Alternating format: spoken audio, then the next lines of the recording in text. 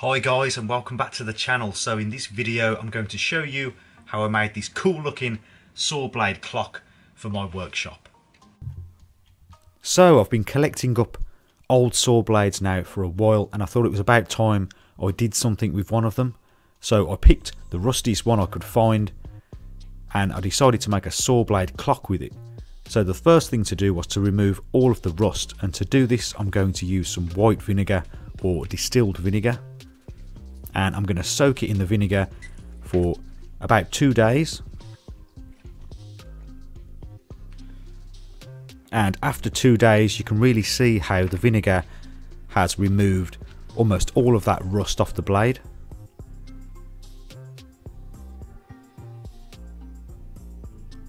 So then to finish up the blade, I used some metal polish and um, a drill just to buff all of that old rust off.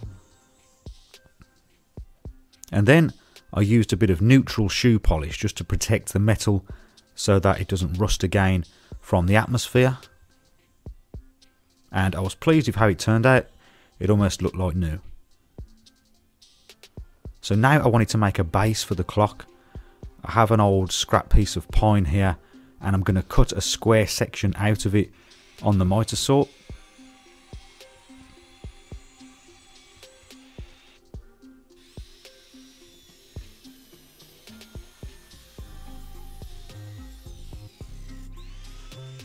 Then I took a router and rounded over the edges of this base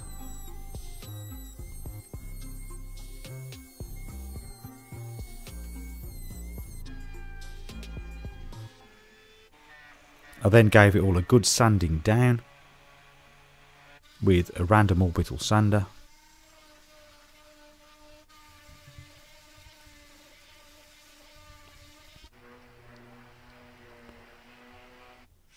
And then just finished it off by hand.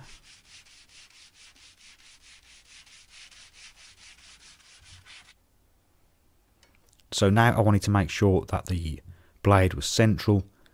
And I want to mark up the four points on the clock the 12 3 6 and the 9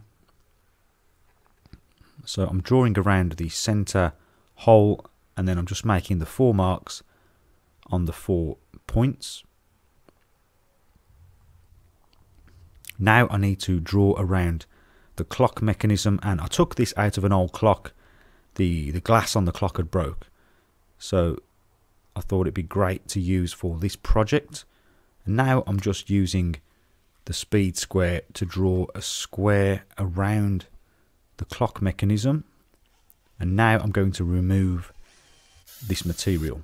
So I'm just starting off by drilling down so that I can get my jigsaw in here.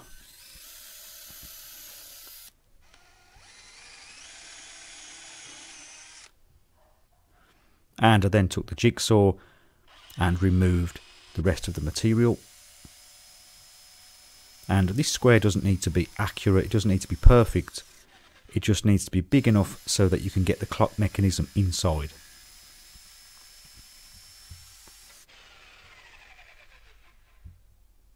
And I made sure that the wood was as thick as the mechanism so that it could sit flush inside the base I then just went round the edge with some sandpaper to smooth everything out.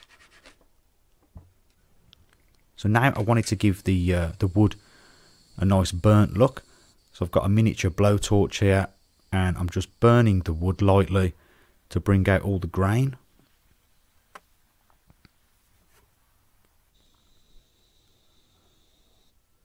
Now I want to add um, a fixing to the back of the base so that I can hang the clock so I'm just going to drill out an area here and this is where the screw will go that will allow it to sit on the wall.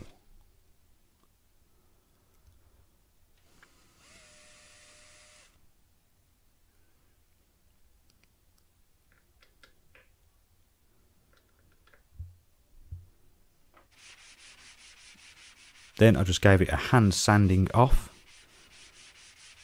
with a very fine sandpaper and added a coat of boiled linseed oil and this really made the grain pop out nicely and you can see those burnt effects there. I then just buffed off the excess oil with a cloth. Then it was time to attach the blade to the base. So where them four marks are, I'm just drilling pilot holes and I'm adding some nice large headed screws. And these will just act as markers.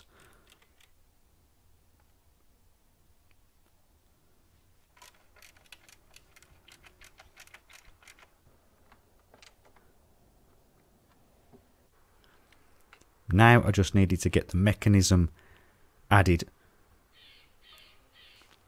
to connect it to the uh, the blade. I'm using a washer and then this nut was already on the mechanism. So if you don't have a mechanism you can buy these very cheaply on the internet. Now I just needed to add the hands